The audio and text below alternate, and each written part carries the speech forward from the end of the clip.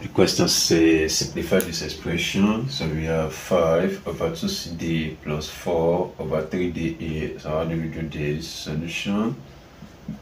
Okay, so for 5 over 2cd, okay, plus 4 over 3de. So what do we do? So let us approach it using the LCM approach, okay?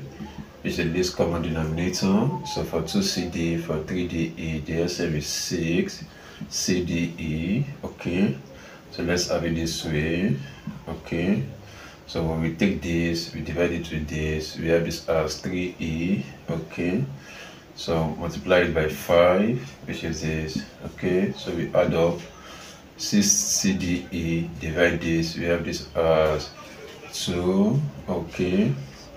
2c so for 2c multiply by 4 okay so from here 3e times 5 we have to be 15e okay plus 2c times 4 we have this as 8c over cc d e. Thank you very much